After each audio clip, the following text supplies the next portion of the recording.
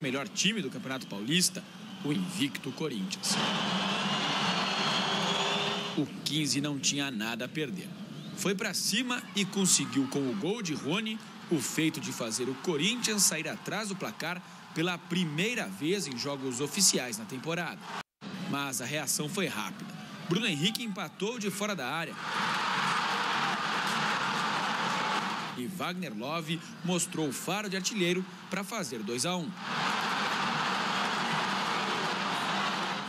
O 15 não desistiu e fez por merecer o empate. Corinthians terá pela frente a Ponte Preta. Será o único duelo de Série A da próxima fase da competição. Um grau de dificuldade grande e a nossa mobilização total para saber né, o grau de dificuldade, ainda mais quando é um jogo só. E um jogo só, a margem de erro defensiva e quando errar ter os atletas prontos a fazerem a cobertura né, e ser efetivo na frente.